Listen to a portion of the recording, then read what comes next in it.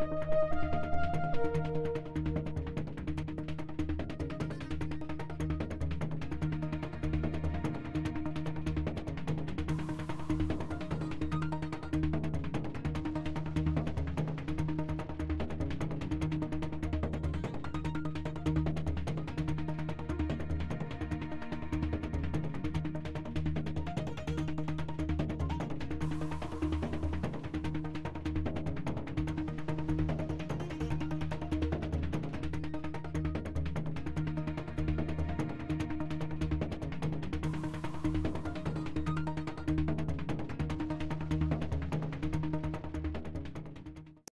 I don't believe that this would have happened had you not gone to Iraq, and it's up to other people to decide whether you should have been sent there.